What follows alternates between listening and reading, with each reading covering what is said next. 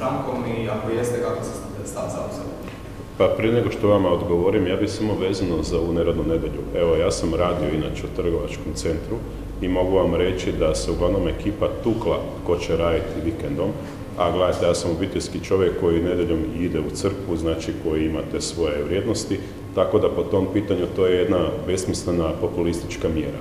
Drugim riječima ljudi trebaju uh, moći izabrati, naravno da svaki rad treba biti adekvatno plaćen i sve drugo, a s druge strane, evo vi ste u medijima, pa i vi radite i blagdanima i uh, nedeljom i ostale dane, što je sa vama recimo.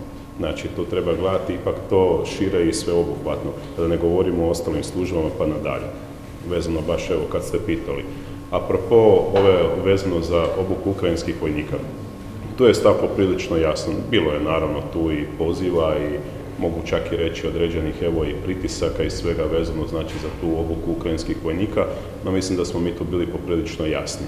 Znači, Ukrajinci su, evo, s obzirom da imam i ulogu i gradonačelnika Svete Nelje, kod nas već smješteni. Znači, pogotovo obitelji, neki ljudi čak evo i rade. Evo, nedavno sam potpisao i odluku da djeca mogu, e, pogotovo, nažalost, koja su siročat iz Ukrajine i klizat besplatno kod nas, evo, na našem adventu. Tako da, apropo toga, znači, Hrvatska već ekstenzivno e, pomaže što se tiče Ukrajinaca.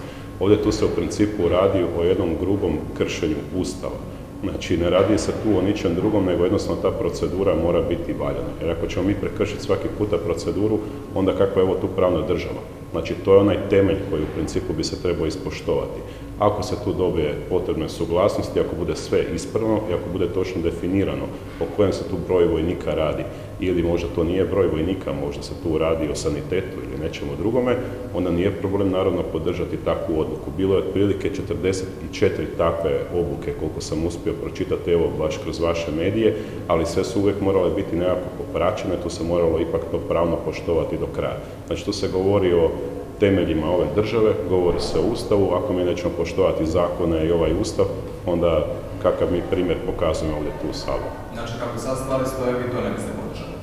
Bili vidjeli naravno na koncu kako će to ići, jer koliko sam ja shvatio, niti ta odluka nije do kraja niti definirana, a i mogli smo vidjeti da je bilo svega i svačega na odboru za obranu.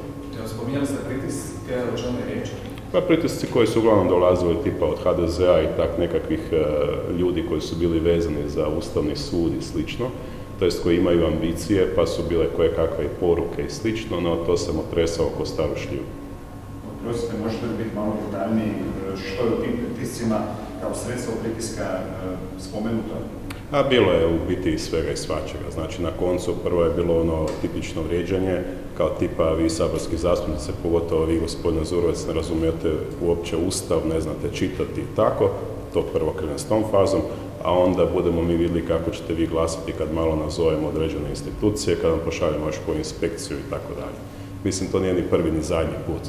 Ja sam u prošlom mandatu se nagledao svega i svačega, ali moram se zahvaliti također vladajućima jer sam konačno shvatio da postoji i rudarska inspekcija koja vam također može ispitati određene stvari na gradilištima i slično. No naravno, uglavnom je to naišlo na čorak.